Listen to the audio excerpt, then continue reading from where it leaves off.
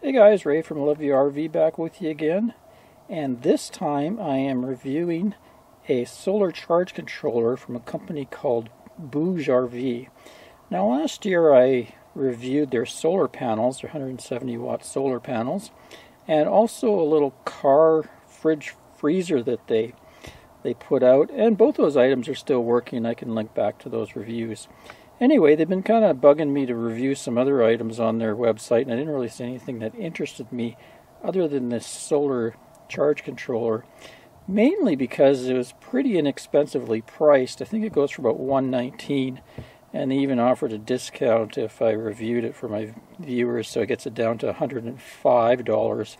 So I figured someone that's trying to put together a pretty inexpensive system may be interested in how it performs being that it's a 40 amp controller, that's not too bad of a price.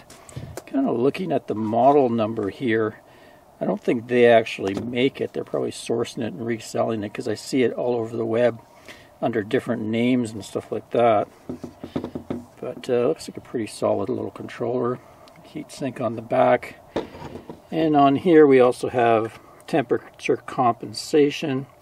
There's a COM link you can see right there and also it included this display that'll plug into the com link. But I also think you can probably use a Bluetooth dongle in that. By the looks of it looks like maybe you can use 8 gauge wiring on those. I have some 4 gauge I'm going to have to cut them down to get them in there.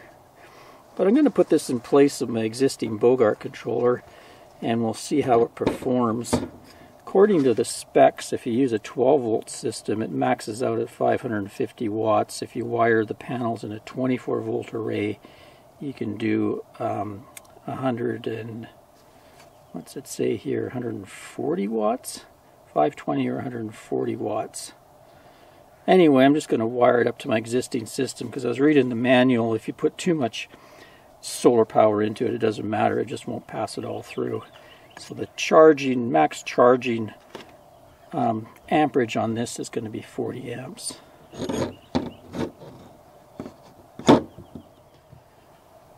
One more thing, it does have temperature compensation plug here, so you could put a sensor in it.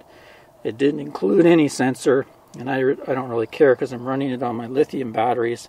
And that was an important thing for whether I wanted to try this out or not, is whether it would uh, handle lithium and does say lithium in here. Also, supposedly you can customize any type of charging profile you want, so we'll get into that once I hook it up and I can see what's going on on this display screen. So, I'm going to dive into the, the bowels of the Cougar here and replace my existing controller with this one. Don't know if we'll get too much sun to test today. It's kind of overcast day, but there is some sun going on, so We'll see how it performs today. And then in a few days it's supposed to uh, get really sunny, so we'll have a good test then. So that gets flush mounted against a wall or something like that. And of course they want some room around it for uh, cooling. You can see there's some aluminum fins there so the air is going to come in behind it and rise up to cooling. So I got quite a bit of stuff here. I think for the time being we're not doing any major boondocking in the next while. So I believe what I'm going to do is pull out pull out my charge controller and then the, the other the Bogart solar controller and kind of give myself an area here so I can install this and test it properly. Okay, got most of that wiring spaghetti out of the way and put some new spaghetti in its place. So I mounted this up here and the wires coming in over here are coming from my rooftop solar panels. There's positive, negative, positive, negative. And then these are going out to my battery, negative, positive. Uh, positive wires going through this breaker that was in the existing system. Now it's a 40 amp breaker, so it'll be interesting. I may uh, may end up blowing that if I get near 40 amps for too long. Usually they have a little bit overhead on them. And then the negative I just have coming down to the frame. Just to save wire and stuff. It actually goes through the frame and then it pops back up onto a bus bar and then goes through my shunt. And I got my three lithium batteries in here, three Lion Energy 105 amp hour batteries. and they're right around 50% charged, so they should they should charge with a decent current. I'm going to have to set it up. I believe for lithium I can set this in the lithium mode is 14.4 volts of charging, so that should work out good. So maybe let's uh, connect the batteries and see what happens. It's what you want to do first, connect the batteries and then the solar. So let's flip this switch on. And we got lights. Good, good. And we have a readout here on our display. The current battery voltage right there. So I'll go up and uh, turn my solar panels on. They're actually off right now. There's a breaker up in my bathroom near my uh, battery monitor. Oh, you can see it's uh, right now there's a moon there, so I guess it thinks it's nighttime and the solar panels are off. Okay, panels turned on. You can see them flashing here. And this battery, this is a battery indicator, and blue is for lithium. I'll show you how to change that in future here. So what do we got here? 13.8 is our voltage charging on the battery. I'll go select solar panel voltage 18.5 and it's showing 39 it's a little over 39 amps sun kind of came out not perfectly blue sky but fairly good sun I don't know, it thinks the battery's at 100% to read into that. And that's the wattage 524 watts.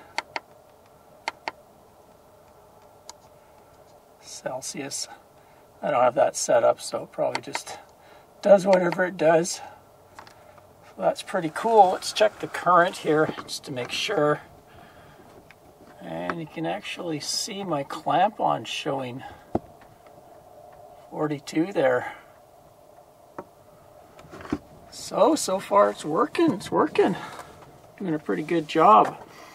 Now what I have on the roof right now, everything's wired in parallel. They're all what they call 12 volt panels. That's kind of just their name. They're meant for 12 volt systems. Um, but actually they, they run around 18 to 21 volts. So that makes sense. So I have over 900 watts up, up there and it seems to be handling it no problem. I'm just going to let it run and we'll see how hot this thing gets. In the meantime, maybe I'll go in and we'll have a look in the manual on the computer and I can kind of show you some of the settings.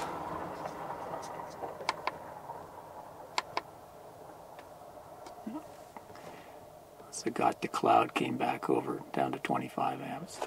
Yeah, it's still a little hazy out. That's clearing up. Just double check that with my trimetric. You can see 38.7 amps.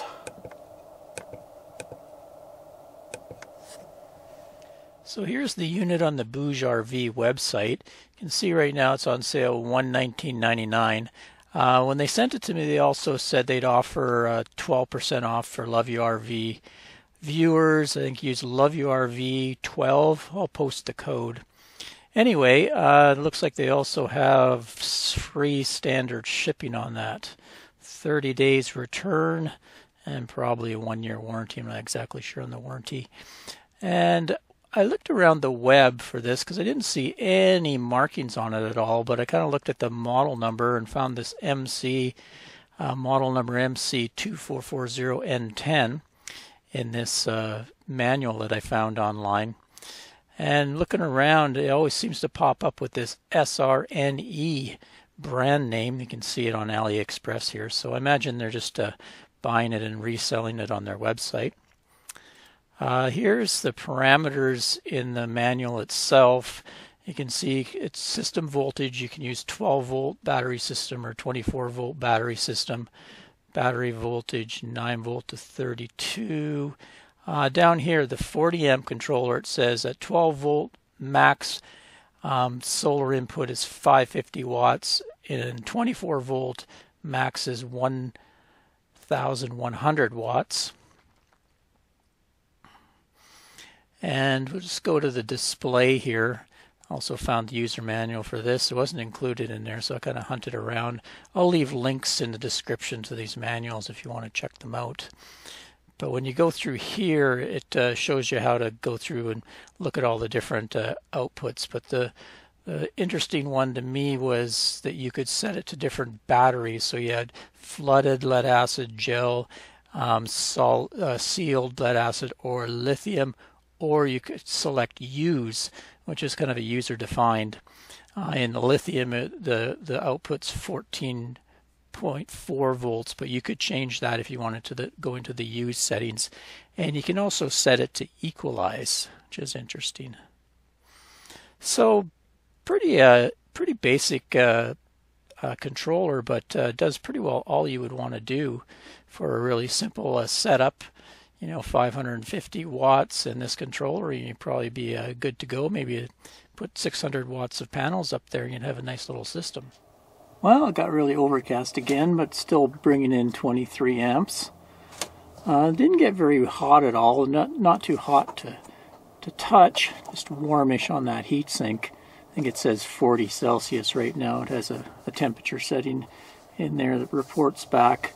But I think what I might do is maybe get a a metal plate for that, mount that against my wood here, and then put this on the metal just to give it a little more heat sink in the back.